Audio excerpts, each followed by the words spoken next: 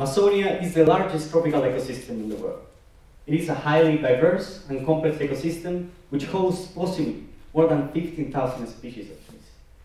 In a single hectare there, it is possible to find more species of trees than across all Europe. Sadly, Amazonia is under pressure. Deforestation is a common threat driven by agriculture, mining, and road construction. The picture in the middle is a satellite image of my study area and shows deforestation patterns in red. Politicians must make proper decisions about this matter. But unfortunately, information in the area is still missing. Unfortunately, this is a topic that needs to keep on going and going. In my research, I'm taking advantage of freely available information, such as forest inventories and satellite images.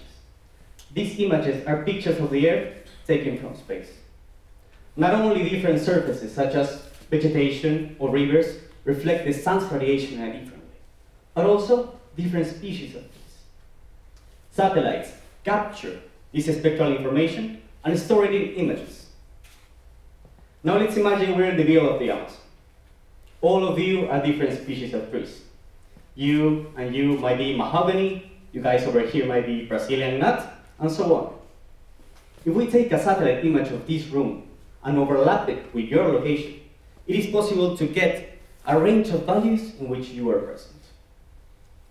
I'm currently using machine learning algorithms to find areas with similar combination of values.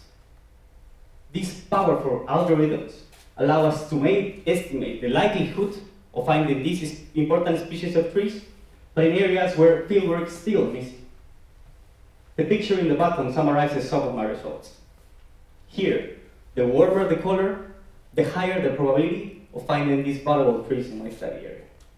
Now, this can be done for several species of interest over larger areas across Amazon. Unfortunately, deforestation is still moving forward in these regions. But how are we moving forward? With this research, we are mapping the distribution of important trees using satellite images and machine learning in order to identify suitable and important areas for management and conservation purposes. All of these purposes with the overarching goal of providing simple and practical tools for decision makers.